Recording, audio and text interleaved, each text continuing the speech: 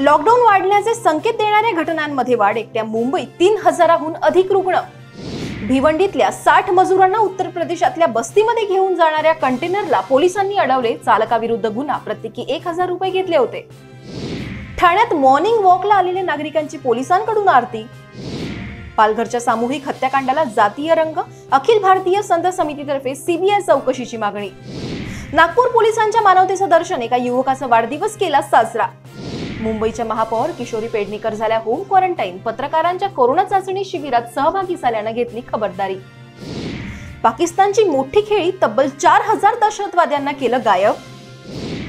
Kim Jong Un यांची मृत्यूशी झुंज. दक्षिण कोरियानं प्रकृतीबाबत केला मोठा खुलासा. विजय माल्या यांना कोर्टाने दिला दणका भारताच्या ताब्यात दिले जाण्याची शक्यता. आणि आता पाहूयात सविस्तर बातम्या. राज्यात लॉकडाऊन वाढणार असे संकेत देणाऱ्या घटना वाढत आहेत कोरोनाचा प्रकोप दिवसागणिक वाढत आहे. राज्यात सोमवारी चारशे सहासष्ट नव्या कोरोना रुग्णांचं निदान झालं असून आता रुग्णसंख्या चार हजार सहाशे सहासष्ट वर पोहोचली आहे.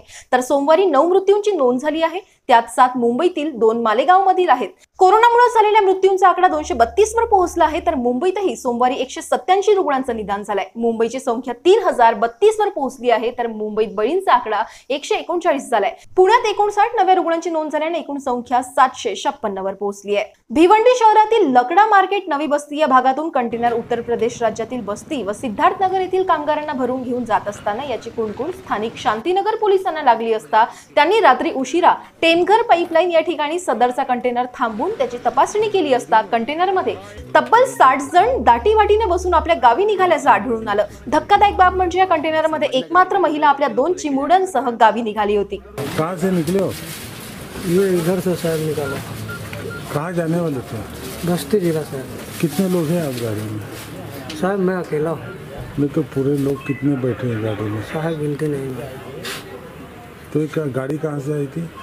साहब मालूम नहीं किधर से तो तुमको कोई बोला होगा ना भाड़ा कितना लिया? भाड़ा साहब पैसा ही नहीं भाड़ा क्या देंगे साहब हज़ार रुपया दिया। एक हज़ार दिया था साहब।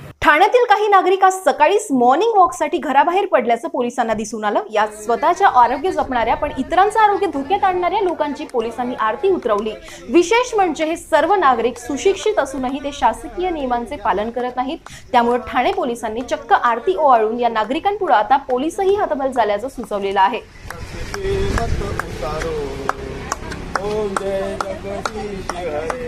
संत समितीने जुना आखाड्याच्या साधूंची हत्या प्रकरणी सीबीआय चौकशी करून दोषींविरोधात कठोर कारवाई करण्याची मागणी केली आहे. या हत्येमागे मोठं षडयंत्र असू शकतं असा दावाही त्यांनी केलाय. अखिल भारतीय संत समितीकडून हे पत्र महामंत्री स्वामी जितेंद्र नंद सरस्वती यांनी लिहिलंय. या संपूर्ण प्रकरणात महाराष्ट्राचे गृहमंत्री अनिल देशमुख यांची भूमिका संशयास्पद आहे असा आरोपही या सरस्वती यांनी केलाय. नागपूरच्या धंदोली परिसरात राहणारा रोहित इंगोले नामक एक युवकाने पोलीस नियंत्रण कक्षात सोमवारी सकाळी फोन करून सांगितलं की आज माझा वाढदिवस आहे आणि मला तो साजरा करायचा आहे नियंत्रण कक्षातली मंडळी इंगोलेच्या वाढदिवसाचा आणि त्याचा इच्छेचा आदर करून ही माहिती आपल्या वरिष्ठांना कळवली. त्यानंतर एक पथक तो राहत असलेल्या भागात गेलं आणि लाऊड स्पीकरवरून त्याचं नाव पुकारलं. त्या युवकाला घाम फुटला पण थोड्याच वेळात त्याला आश्चर्याचा धक्का बसला. कारण पोलीस निरीक्षक पोटे त्यांच्या हातात बर्थडे केक त्यांनी ठेवला. शहर पोलिसांच्या वतीनं त्यांचा वाढदिवसाच्या शुभेच्छा देऊन त्यांचं अभिनंदन केलं गेलं.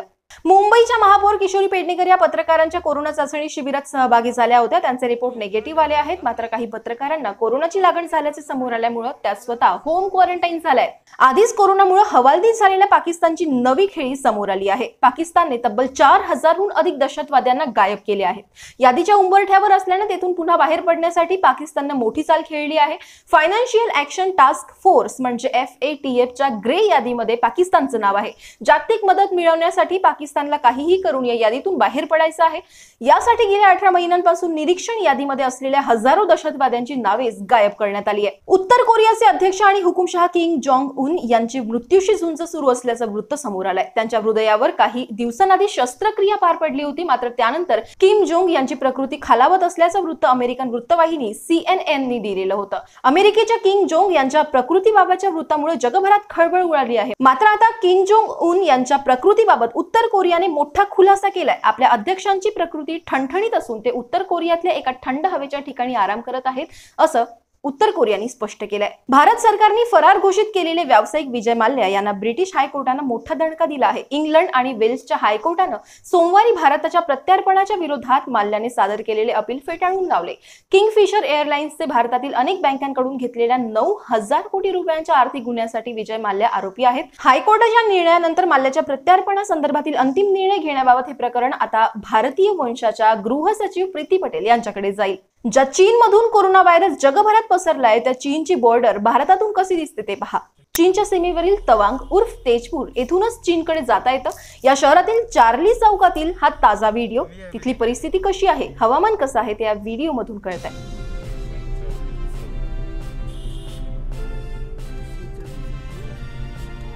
चालू घडामोडीसाठी पाहत रहा लोकमत डॉट कॉम